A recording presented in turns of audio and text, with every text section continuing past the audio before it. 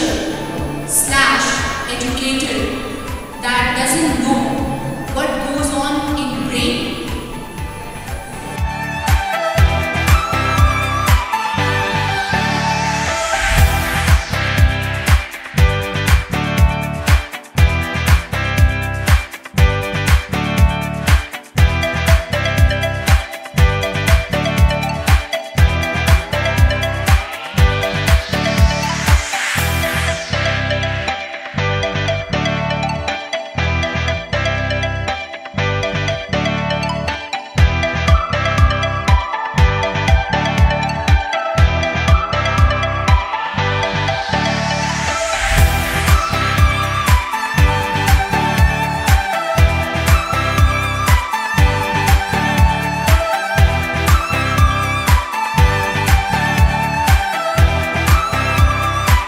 Today's workshop has made teaching a fun experience for everyone.